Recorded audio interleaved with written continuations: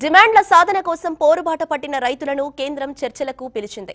డిమాండ్లు ఏంటో చెప్పాలంటూ రైతు సంఘాల నేతలను కేంద్ర మంత్రి అర్జున్ ముండా చర్చలకు ఆహ్వానించారు. రాజకీయ పార్టీలతో కలిసి తప్పుదారి పట్టించొద్దని సూచించారు. చర్చల ద్వారానే సమస్యలు పరిష్కరించుకుందామని అన్నారు. ఆందోళనల పేరుతో ట్రాఫిక్కు అంతరాయం కలిగించొద్దని విజ్ఞప్తి చేశారు. అటు నిన్నటి నుంచి ఢిల్లీ సరిహద్దుల్లోనే రైతులు ఆందోళన చేస్తున్నారు. ఢిల్లీ వైపు రాకుండా రైతులను పోలీసులు అడ్డుకుంటున్నారు.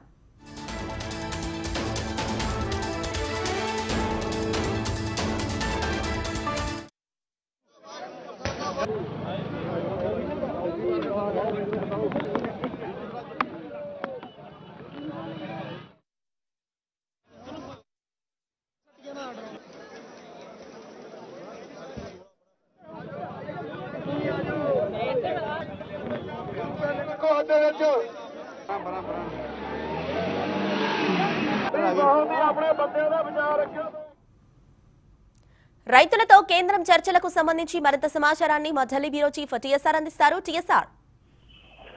ఏదైతే ముందు నుంచి కోరుతున్న డిమాండ్ల సాధన కోసం రైతులు ఢిల్లీ చెలోకి పిలుపునిచ్చారు. నిన్నటి నుంచి కూడా జరిగినటువంటి పరిణామాలన్నీ కూడా చూస్తున్నటువంటి పరిస్థితి ఈ ఇండియా. ఏదైతే పంజాబ్ నుంచి బరైనటువంటి రైతులు హర్యానా ప్రభుత్వం అక్కడ సరిహద్దులను మూసివేయడంతో శంభు సరిహద్దు వద్దనే వేలాది మంది రైతులు ఉన్న పరిస్థితి.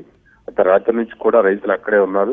ఇవాళ ఉదయం మళ్ళీ ఢిల్లీకి బయలుదేరేందుకు వాళ్ళు ప్రయత్నాలు కొనసాగిస్తున్నారు. మరోవైపు ఈ రైతుల ఆందోళనలు నిరసనలు కొనసాగుతున్న నేపథ్యంలో వాళ్ళకి వ్యాప్తంగా ప్రతిపక్ష పార్టీలు కానీ ఇతర సంఘాల నుంచి మద్దతు లభిస్తున్న నేపథ్యంలో ప్రభుత్వం మరోసారి రైతు సంఘాల నేతల్ని చర్చలకు రావాల్సిందిగా పనిచింది కొద్దిసేపటి క్రితమే కేంద్ర వ్యవసాయ శాఖ మంత్రి అర్జున్ ముండా మీడియాతో మాట్లాడుతూ తాము సంప్రదింపులు జరిపేందుకు సిద్ధంగా ఉన్నాం.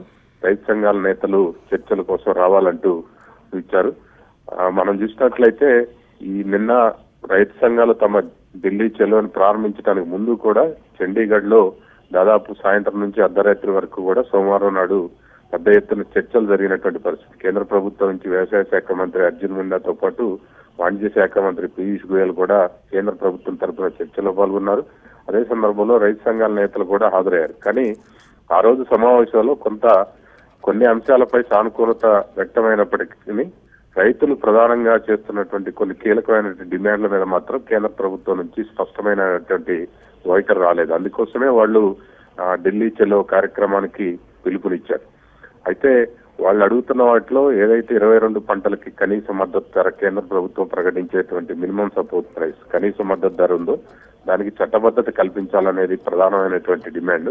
ఆ భద్రతను కల్పించడం కనీస మద్దతు ధరకు చట్టబద్ధత కల్పించడం ద్వారా రైతులకి భద్రత కలుగుతుంది అనేటువంటిది రైతు సంఘాల నేతలు చెప్తున్నటువంటి పరిస్థితి. దాంతో పాటు రుణమాఫీ గాని అదేవిధంగా గతంలో ఢిల్లీ సరిహద్దుల్లో చేసిన ఆందోళన సందర్భంగా రైతులు పెట్టిన రైతులపైన పెట్టినటువంటి కేసుల ఉపసంహరణ గాని ఇతర అంశాల గురించి కూడా వాళ్ళు ప్రధానంగా అనేక డిమాండ్లు ఇచ్చినారు సో ఈ నేపథ్యంలోనే ఇప్పుడు కేంద్ర ప్రభుత్వం మరోసారి వాళ్ళని చర్చలు ఆహ్వానించింది. మరోవైపు జమ్మూ సరిహద్దు వద్ద రైతు సంఘాల నేతలు కూడా సమావేశారు తాము కూడా చర్చలకు సిద్ధంగా ఉన్నామనేటువంటి అభిప్రాయాన్ని వాళ్ళు వ్యక్తం చేస్తూనే ప్రభుత్వం తమ పైన క్లియర్గా సెల్స్ గాని ఈ రకంగా దాడులు చేయడం అనేటువంటి దాన్ని వాళ్ళు తీవ్రంగా. ఖండిస్తున్నారు.